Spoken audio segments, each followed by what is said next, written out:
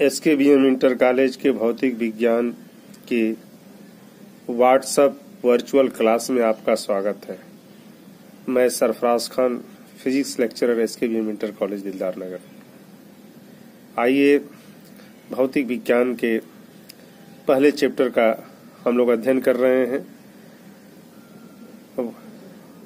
वैद्युत आवेश तथा क्षेत्र। आगे इस क्लास को बढ़ाते हुए आज हम पढ़ेंगे वैद्युत द्विध्रुव के कारण वैद्युत विभव। वैद्युत द्विध्रुव के कारण वैद्युत विभव जो है, इसमें भी दो स्थितियाँ उल्लेखनीय है। पहला, वैद्युत द्विध्रुव की अच्छी स्थिति में किसी बिंदु पर वैद्युत विभव। दूसरा है, वैद्युत द्विध्रुव की निरक्षीय स्थिति में किसी बिंदु पर वैद्युत विभव। तो सबसे पहले हम चर्चा कर रहे हैं आज, वैद्युत द्विध्रुव की अच्छी स्थिति में किसी बिंदु पर वैद्युत विभव। इसके लिए जो है, सबसे पहले वैद्युत द्विध्रुव बनाते हैं। ये देखिए, ये भी एक वैद्युत द्विध्रुव है, जो माइनस क्यू प्लस क्यू आवेश से मिलकर बना है, एक दूसरे से टू एल दूरी पर स्थित है। मध्य बिंदु ले लेंगे तो ये एल हो जाएगा एल हो जाएगा। इसके मध्य बिंदु से आर दूरी पर कोई बिंदु पी ले लिया गया है, जहाँ हमको वैद्युत विभव अच्छी स्थिति में ज्ञात करनी है। तो सबसे पहले हम मानते हैं कि माना वैद्युत द्विध्रुव ए बी चित्र का वर्णन हम कर रहे हैं माना वैद्युत द्विध्रुव ए बी एक ऐसे माध्यम में स्थित है, जिसका परावैद्युतांक के है। वैद्युत द्विध्रुव के मध्य बिंदु ओ से आर मीटर की दूरी पर एक बिंदु पी है, जहाँ पर हमको वैद्युत विभव अच्छी स्थिति में ज्ञात करनी है। अब हम क्या करते हैं? प्लस क्यू आवेश के कारण बिंदु पी पर विभव निकालेंगे और माइनस क्यू आवेश के कारण भी बिंदु पी पर विभव निकालेंगे। अब देखिए, यहाँ पे आप जो है प्लस क्यू आवेश के कारण बिंदु पी पर विभव। आप जानते हैं किसी बिंदु आवेश के कारण किसी बिंदु पर विभव का सूत्र भी बराबर वन बटा के फोर पाइव साइलेंट नॉट के क्यू बाई आर होता है। तो वही लिखा गया वी वन बराबर वन बटा के फोर पाइव साइलेंट नॉट के क्यू बटा के आर के जगह पर देखिए, आवेश क्यू से पी की दूरी, यानी ये बीपी हो गया। आर के जगह पर बीपी लिया गया है। अब इस बीपी का मान चित्र से देखेंगे तो आर का मान जो है ओ से पी तक है। अगर इसमें से एल को घटा दिया जाए आर में से एल तो बीपी का मान हो जाएगा। इसलिए यहाँ पर आर में से एल को घटा करके आर माइनस एल लिख दिया गया। फिर ठीक इसी प्रकार माइनस क्यू आवेश के कारण बिंदु पी पर वैद्युत विभव वी टू बराबर एक बटा के फोर पाई सेलेन नॉट के माइनस क्यू बटा के। अब देखिए ए से लेना है, यहाँ माइनस क्यू आवेश है तो यहाँ से एपी हो गया। अब यही माइनस क्यू को हमने पहले लिख दिया है। अब एपी का मान निकालेंगे तो ये देखिए आर में प्लस एल को क्या करना पड़ेगा? जोड़ना पड़ेगा तो आर प्लस एल हो जाएगा।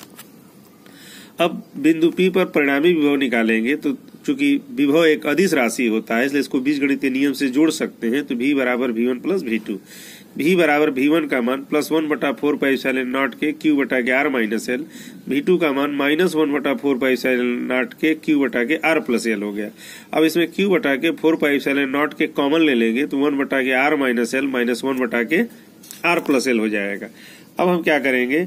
इसमें आर माइनस एल और आर प्लस एल को लघुत्तम ले लेंगे तो ऊपर r plus L minus r minus L हो जाएगा। ये।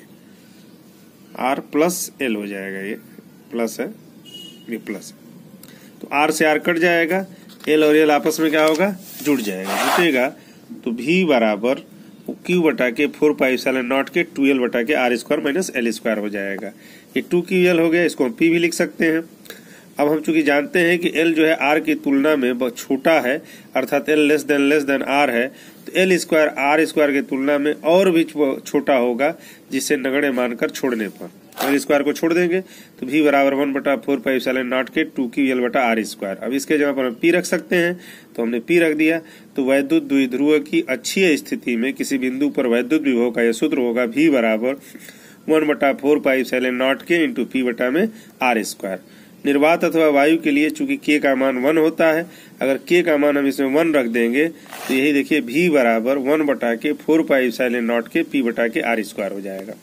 तो हम कहेंगे वैद्युत द्विध्रुव की अच्छी स्थिति में किसी बिंदु पर वैद्युत विभव भी बराबर वन बटा के four pi epsilon nought p बटा के आर स्क्वायर के क्या होता है? बराबर होता है। अब दूसरा हम चर्चा करेंगे वैद्युत द्विध्रुव की निरक्षीय रेखा पर स्थित किसी बिंदु पर वैद्युत विभव। अब देखिए यह एक क्या है? ए बी एक वैद्युत द्विध्रुव है, जो माइनस क्यू प्लस क्यू आवेश से मिलकर बना है। इसके बीच की दूरी टू एल है। इसको बांट करें, हमने एल और एल कर दिया। है अब हम पी बिंदु पर ये निरक्षीय स्थिति है, जहाँ पर हमको वैद्युत विभव ज्ञात करना है। तो सबसे पहले हम चित्रकरण करेंगे। माना एक वैद्युत द्विध्रुव ए बी एक ऐसे माध्यम में स्थित है, जिसका परावैद्युतांक क्या है? के है।